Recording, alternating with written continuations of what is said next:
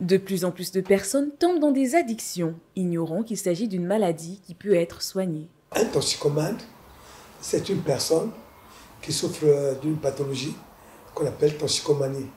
En fait, c'est une personne qui est accro, accro ou, addict. Alors, euh, qui souffre d'une addiction, c'est la personne qui a perdu la liberté de s'abstenir, de boire ou de fumer ou de se droguer c'est un besoin irrépressible. Maintenant, il y a toxicomanies sans drogue. Je prends l'exemple d'une personne euh, qui est euh, addicte euh, aux jeux compulsifs.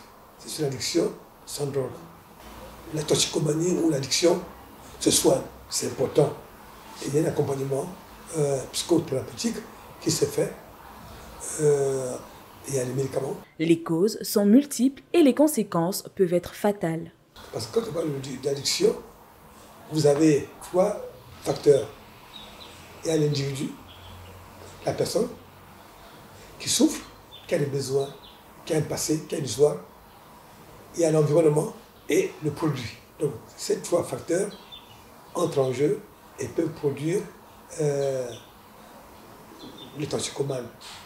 Mais il y a la mortalité qui est importante chez le toxicomane, la morbidité. Euh, on meurt de toutes les pathologies, pathologies euh, diverses, euh, selon la de drogue. Si depuis 2018, l'OMS reconnaît l'addiction aux jeux vidéo comme une maladie à part entière, selon une récente étude du ministère gabonais de la Santé, plus de 20% des jeunes consomment des drogues et environ 35% ça donne aux alcools.